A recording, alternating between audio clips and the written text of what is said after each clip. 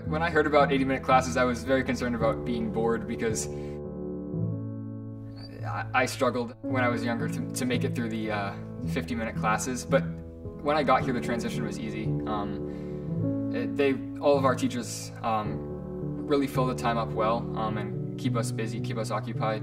For instance, in my biology class, um, since the class is longer, we are able to maybe do some introductory work in the textbook uh, on a topic and then go into the lab and look more closely uh, to really get a better sense of, of, what we're looking at rather than just reading it and seeing it uh, through pictures.